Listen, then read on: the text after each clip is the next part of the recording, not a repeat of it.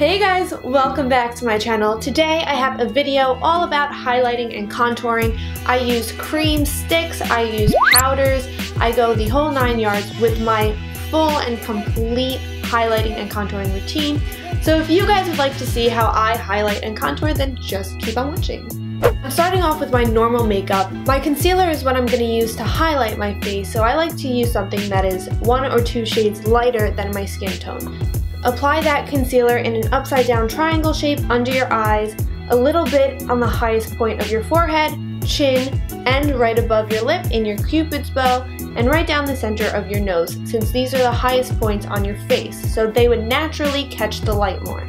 I'm also going to put a little bit of this concealer on my eyelids as an eyeshadow primer, but also to cover up any veins or discoloration that I have on my lids. Use a translucent powder to set just under your eyes for now because we're still going to be applying creams to the rest of the face.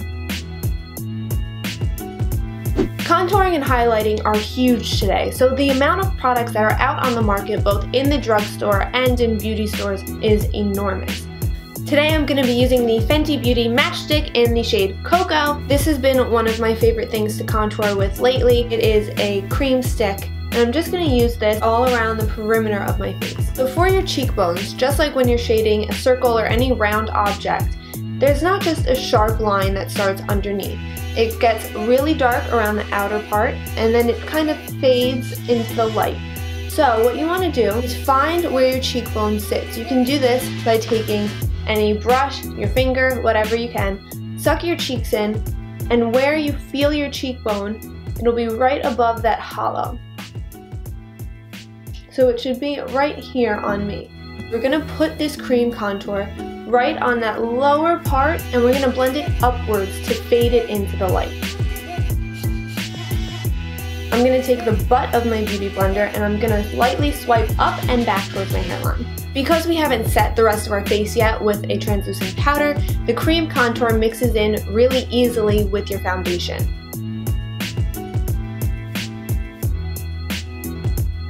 I'm also going to apply this to the places where my face starts to sink back from my high points. This is going to be around the perimeter of my forehead and my temples, underneath my jawline, along the sides of my nose, and right under my lip.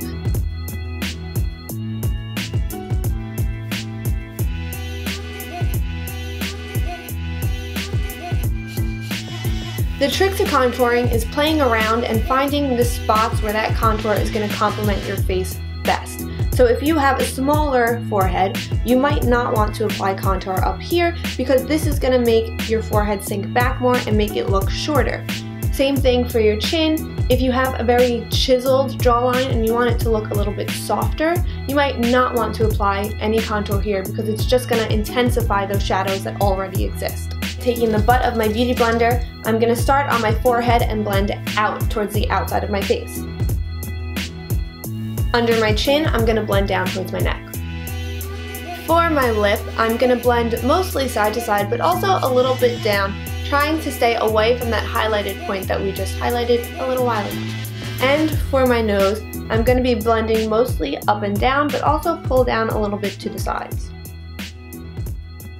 Now going back into my translucent powder, I'm going to take a fluffy brush and set the rest of my face. And if I have spots that I find are a little extra oily, I'm going to pack a little bit more powder on there with my Beauty Blender. Using a light layer of translucent powder over your whole face is going to help set that cream in place so that when you put other powders on top, it won't stick to the wet patches and make your contour look blotchy. For an everyday look, I would normally stop right here, but if you want to intensify that contour, you can go over all of that with a powder. There are contouring palettes like the Anastasia Beverly Hills one, which has very, very light shades for highlighting your face as well as darker shades for bronzing and contouring. I'm going to be using this middle shade from the Anastasia Beverly Hills Contour Kit in the shade Medium with my Y9 Morphe Contour Brush.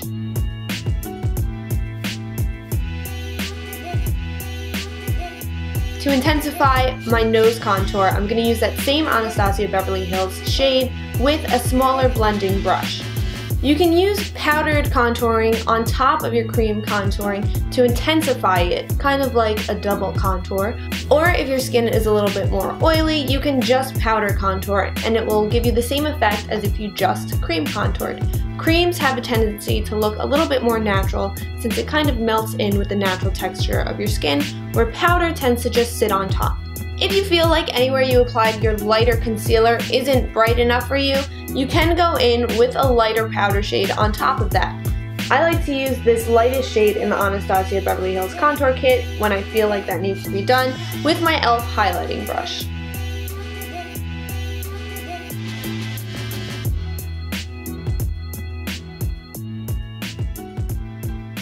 So this is what my face would look like with just that cream and powdered contour. I like to take it one step further and apply a bronzer on top of that to give my skin a glowing look. My favorite bronzer that I use every day is the Balm Cosmetics Betty-Lou Manizer. I like to take a nice fluffy powder brush, this one is from Morphe, and I'll lightly dip in and I will go around to the parts of my face that I already contoured just to add a little bit of shine to them. With that big fluffy brush, I start on the insides and blend outwards towards my hairline, and when I get to my neck, I blend down my neck.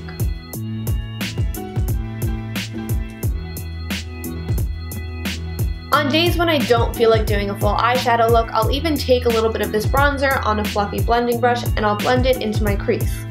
Off camera, I quickly did my eye makeup, my eyebrows, added some blush and mascara, and now this is the time when I usually powder highlight.